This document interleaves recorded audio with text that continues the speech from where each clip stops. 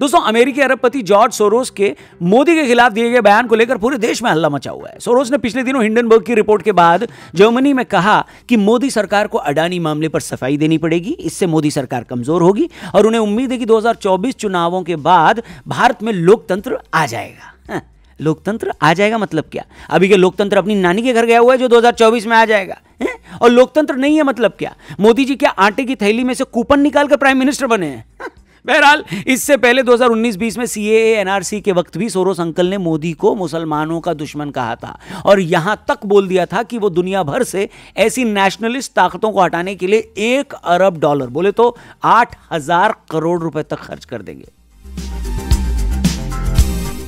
Well Soros के statement के बाद से बहुत सारे लोग सवाल कर रहे हैं कि एक विदेशी आदमी भारतीय प्रधानमंत्री के बारे में ऐसी ओछी बातें क्यों कर रहा है? हम चाहे जो बोले, अपने पीएम को, हमारे पीएम है भाई, मगर टोमेटो सोरोस कौन होते हैं? हमारे पीएम को कुछ कहने वाले। लोग सवाल पूछ रहे हैं कि क्या ये इत्तेफाक है कि चुनावी साल नज़दीक आते ही एक के बाद एक विदेशी संगठन, विदेशी एनजीओ या विदेशी चैनल भारत में मोदी सरकार को कमज़ोर करने में लग गए? क्या ये सिर्फ़ इत्तेफाक है कि पहले मोदी को लेकर बीबीसी की डॉक्यूमेंट्री आई, फिर अडानी को लेकर हिंडनबर्ग की रिपोर्ट और अब सोरोस का मोदी के खिलाफ बयान? इतना ही नहीं, कुछ दिन पहले संडे गार्जियन अखबार ने खुलासा किया कि किस तरह मोदी सरकार को गिराने के लिए विदेशी शहर पर दिल्ली और लंदन में गुपचुप मीटिंग का दौर चला। इस तरह की मीटिंग्स में भारतीयों के अलावा विदेशी लोग भी हैं। इन मीटिंग्स का मकसद मोदी सरकार के खिलाफ नेगेटिव परसेप्शन बनाना, उसे कमज़ोर करना, उसके बारे में हर बुरी खबर को तूल देना है।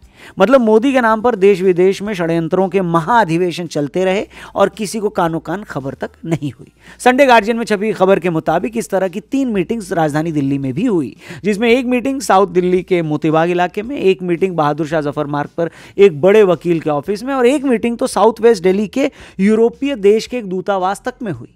अब भारत के अंदर ही अगर दूतावास में इस तरह की मीटिंग्स की बात सच है तो इसे साजिश के अलावा और कुछ तो कहा नहीं जा सकता। हेलो आप ही से बोल रहा हूँ मैं। आखिर जिस देश में आपका दूतावास है, आप उसी देश की सरकार को हटाने या कमज़ोर करने के लिए कोई प्लानिंग कैसे कर सकते हो बे? ये तो ऐसे ही हो गया जैसे आपके घर में आया मेहमान गेस्ट रूम में बैठकर ये प्लानिंग करने लगा है कि आपको ही घर से बाहर कैसे निकाला जाए। नहीं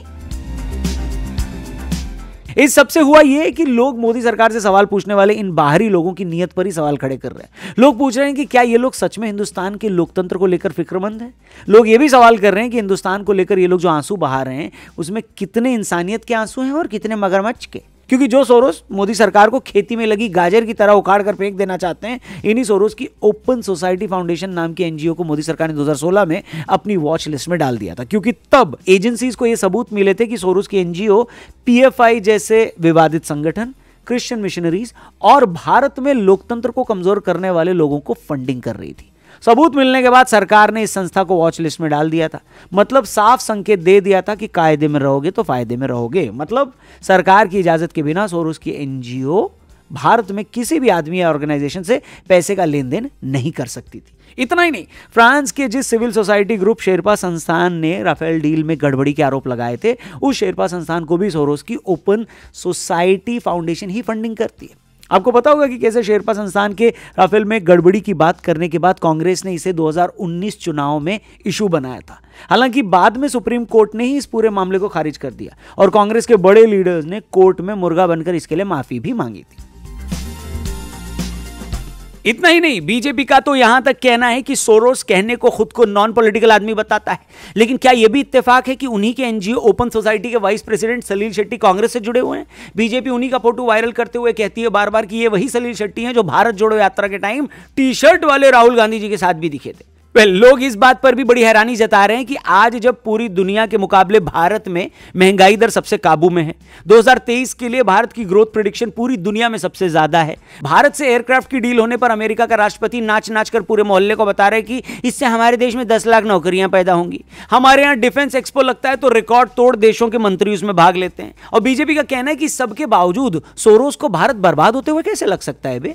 और इन्हीं सोरोस ने 2011 में यूपीए की सरकार के वक्त जब विकास दर साढ़े पाँच फ़ीसदी थी और हर दूसरे महीने टू से लेकर सी और जीजा जी तक के घोटाले सामने आ रहे थे, तब उन्होंने खुद कहा था कि मुझे भारत का भविष्य बड़ा उज्जवल दिखाई दे रहा है। इस पर लोगों का यही कहना है कि गली के झगड़ों में इतना साइड तो एक माँ भी अपने बच्चे का नहीं लेती, जितना सोरोस अंकल माँ बेटे की पार्टी का साइड ले रहे थे।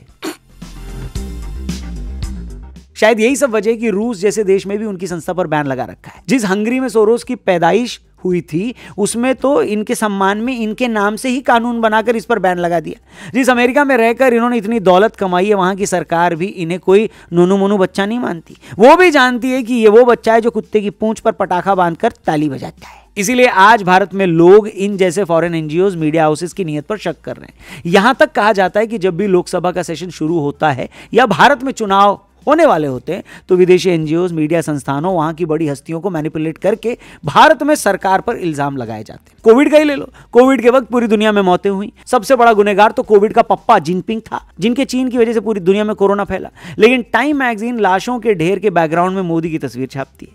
यही मैगजीन जिनपिंग से सवाल पूछने में ऐसे शर्माती है जैसे नई नई बहू अपने जेठ से चाय पूछने में शर्माती है। बाद में जब भारत सरकार दुनिया के पंचानवे देशों को कोरोना की वैक्सीन देता है तो वो इसके लिए तारीफ़ के दो शब्द तक नहीं बोल पाती। लेकिन क्रिटिसाइज करने की जब बारी आती है तो ये अपने कपड़े फाड़ फाड़ कर नाली में भी लौटने लगते हैं। आपको बता दूँ बीबीसी की जिस डॉक्यूमेंट्री पर इतना हंगामा मचा हुआ है, उसे खुद ब्रिटेन के ही एक एमपी बॉबल ब्लैकमैन ही बकवास बता चुके उन्होंने कहा कि जिस मामले में भारत की सुप्रीम कोर्ट तक मोदी को बेगुनाह बता चुकी है, उसे लेकर आज भी अगर आप छाती कूट रहे हो तो ये पत्रकारिता और छाती दोनों का अपमान है। लोग सवाल पूछते हैं कि अलीबाबा के फाउंडर जैकमा उनतीस बिलियन डॉलर के आईपीओ लॉन्च के वक्त जब अचानक गायब कर दिए जाते हैं, तब भी कोई चीन से सवाल नहीं पूछता। बीबीसी जैसे संस्थान तब भी नई बहू की तरह जेट से शर्माते हुए मुँह में पल्लू लिए लल्लू बनकर कोने में खड़े रहे, मगर उनके मुँह से एक शब्द भी नहीं फूटा। बताइए। इसलिए बड़ी हैरानी होती है कि जब हम दुश्मन को उसके घर में घुसकर मारते हैं तो कुछ लोगों को सेना पर भरोसा नहीं होता। जब पार्टियाँ चुनाव हार जाती हैं तो उनका चुनाव आयोग पर भरोसा नहीं होता। जब फैसले पक्ष में नहीं आते तो सुप्रीम कोर्ट तक पर भरोसा नहीं होता। और मीडिया को तो हम बिका हुआ मानते ही हैं। लेकिन जैसे ही कोई विदेशी संस्था, विदेशी चैनल, विदेशी सेलिब्रिटी, जिसे न हमारी सोसाइटी की जानकारी है, न यहाँ के सिस्टम की, वो जैसे ही हमारे बारे में कुछ नेगेटिव बोलता है तो कुछ लोग मारे खुशी के कुएँ में कूद जाते हैं। मुझे नहीं पता कि हमारे दिलों में घुसा हुआ इंफीरियरिटी कॉम्प्लेक्स है, या चाइनीज़ माल की तरह हमारी संस्थाएँ ही भरोसे के लायक नहीं रही। वजह जो भी हो, मगर इतना तो ज़रूर पता है कि अपनी हर चीज़ के लिए दुनिया को जज बना देना कहीं से जायज़ नहीं है बॉस और एंड में ना बॉस सबसे बड़ा होता है जनता का इकबाल। अगर कोई आदमी दुखी है उसकी ज़िंदगी नर्क हो चुकी है तो अखबार में छपी कोई झूठी खबर उसे खुश महसूस नहीं करवा सकती। और कोई आदमी अगर सुखी है तो किसी एंकर के चिल्लाने से वो खुद को दुखी मानना शुरू नहीं कर देगा।